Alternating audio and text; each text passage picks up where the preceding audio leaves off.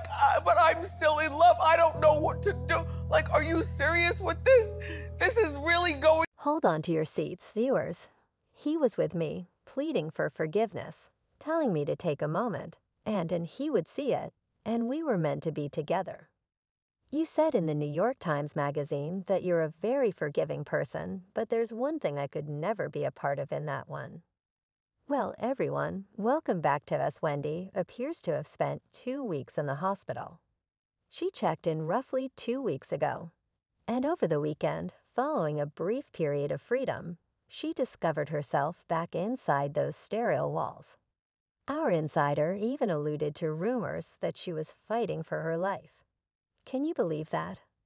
Another source revealed that all they knew about Wendy was that she was in the hospital at the moment and not receiving rehabilitation. They even hinted that they had no idea which hospital Wendy was in, which raised some eyebrows.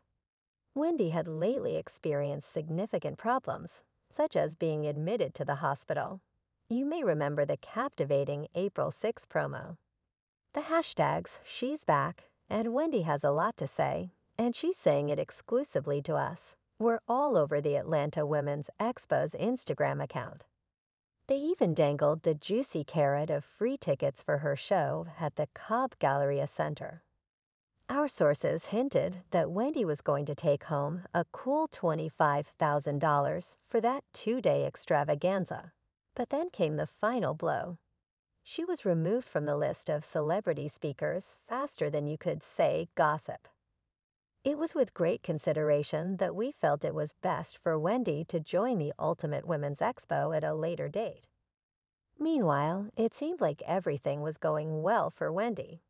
And recently we're hearing such terrible news again, suggesting that the drama surrounding Wendy isn't going to go away anytime soon. We can only hope for smoother waters ahead for Wendy while we were all abuzz about her health. Wendy's representative teamed up for an official announcement that left us all in shock. There were rumors circulating about an enigmatic apology video that was scheduled to premiere during Expo One. Sizzling Insider shed light on the doubts surrounding Wendy's capacity to take center stage. Some were pushing for her to travel to Atlanta and take the stage. Welcome back, Wendy. Greetings from my formal flat. As we speak between us, many of Wendy's recent performances have been, to put it mildly, inconsistent. In one moment, she's speaking in well spoken sentences, and in the next, well, radio silence. Many of us have been holding our breath, anticipating the grand despite Wendy's return. The story took a turn amid reports of a hospital. Wendy's camp has categorically denied any visits to hospitals. Cincinnati released an explosive, I can vouch for the fact that Wendy is not in the hospital, despite what has been reported in New York. You can also speculate as to who may be quietly applauding from the sidelines. Kevin Hunter should now enter for the back row. Here's where it gets saucier. Wendy's bankroll has been, to put it mildly, keeping Kevin afloat. I am making payments, but hold on. This is getting oh no. Kevin wasn't only living the high life. Rather, he was occupied with utilizing Wendy's hard earned money to indulge his side girlfriend, Sharina Hudson. Insider rumors Jaren's studies for her massage therapy program were generously funded by Kevin, who also helped her launch the Vish jewelry and apparel line and set her up with a kiosk in a mall in North Carolina. I learned about this from blogs and tabloids, where he shared the address of the location he bought with his back. But that's not all. When decided that real estate wasn't her thing, she tried her hand at selling her office at a Morristown property. Who do you think paid for that house? Kevin, of course, using Wendy's money. Then, thinking that vegetarianism would be a good fit, he again raided Wendy's bank account. Sharina Girl's big win, and now for the most fascinating and terrifying portion of my life. Wendy's apparent health and personal decline became public conversation around late 2017 to early 2018. No one could support me through that period of my life except for Wendy. Around this same time, rumors began to circulate that Kevin had bought Sharina a comfortable love nest not far from the location of his marriage ceremony to Wendy. Could this be a coincidence, or is the plot thickening? All supporters recall those inexplicable absences. Wendy, the unwavering professional who was renowned for her punctuality, began to falter in late 2018 her appearance suggested that she was upset, and occasionally her emotions were evident. A studio source remembers hearing that she felt like she was engaged in combat offstage, with hints of Kevin's growing influence over her in both personal and professional spheres. And then there was the January 2019 show. The official story claimed Wendy, the stylish diva, had a hairline fracture, but whispers behind closed doors depicted a different image. The world witnessed Wendy strangely sporting an arm sling. How does Sharina fit into all of this? It seems like the two of them had a lot to gain with Wendy's fortune and the inheritance she was going to receive, so the stakes were high. An old confidant of Wendy's claimed that she once whispered her feelings of entrapment hinting to something far more sinister than a simple accident.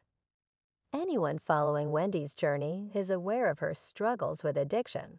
The spotlight's pressures, combined with her personal turmoil, led her to turn to drugs for solace.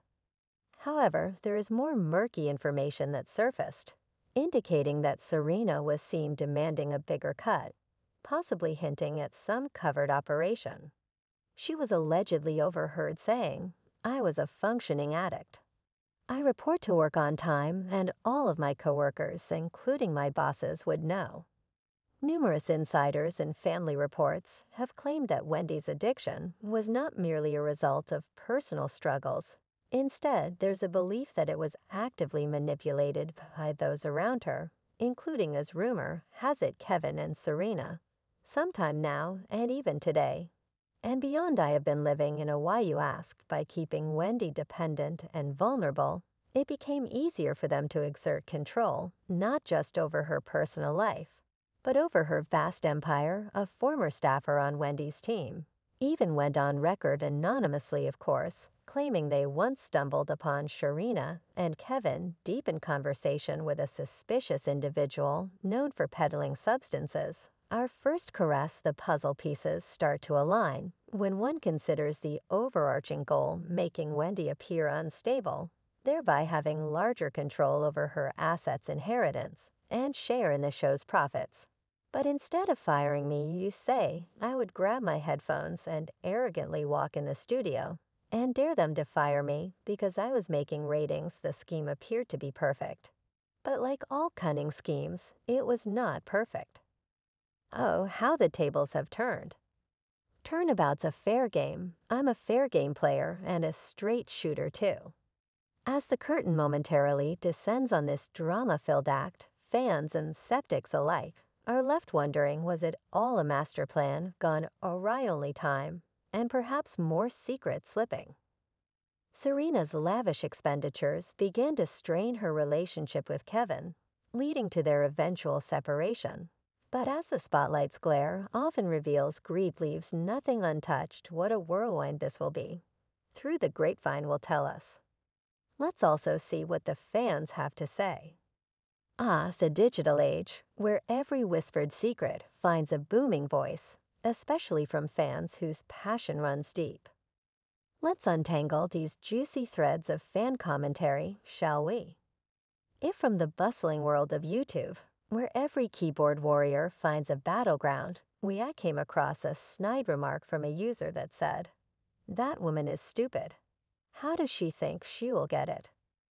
We knew she was a gold digger, but gosh, at least be a wise one.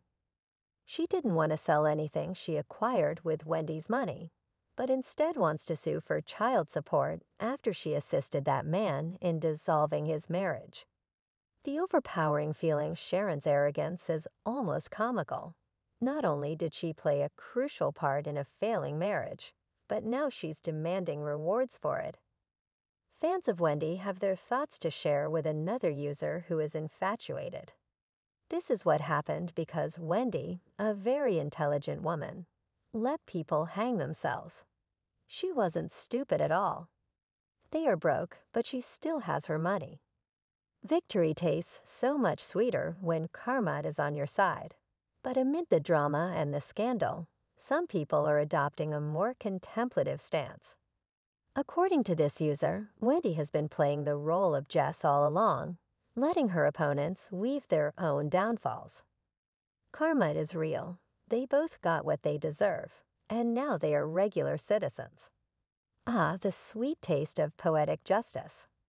One comment struck a deeper chord with me. I listen to learn and keep this from occurring to me.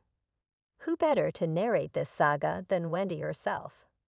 As the saying goes, opinions are like noses. Everyone has one. In this vast digital universe,